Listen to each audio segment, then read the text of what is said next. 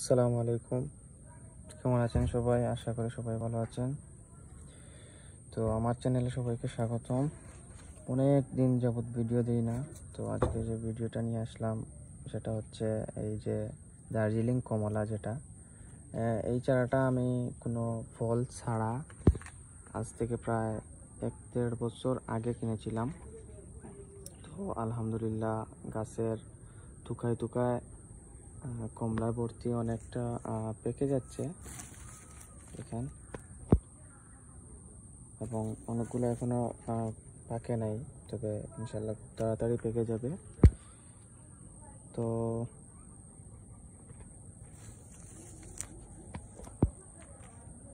আপনাদের কি অবস্থা? আপনাদের এই গ্রীষ্মে এবং বর্ষায় মিলে আপনাদের ছাদ বাগানের অবস্থা কীরকম বা কার ছাদে কি আছে, না আছে, চাইলে আমাকে কমেন্টে জানাতে পারেন।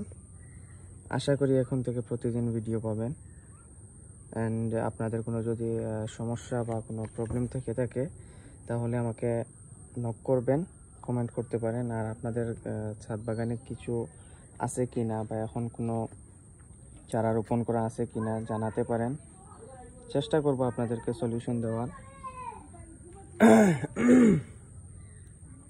আর ইনশাল্লাহ এখন থেকে রেগুলার ভিডিও দেওয়া ট্রাই করব। আপনারা ভিডিওগুলো বেশি বেশি করে শেয়ার করবেন।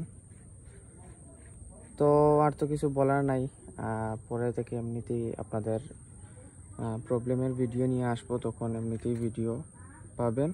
আর স্ট্রবেরির যে চ্যানেল এইটাই, তো স্ট্রবেরির সিজন আসার আগে থেকেই আমি আপনাদেরকে জানাব কখন চারা রোপণ করবেন, কখন কি করবেন। তো ভালো থাকবেন। আসসালামু আলাইকুম।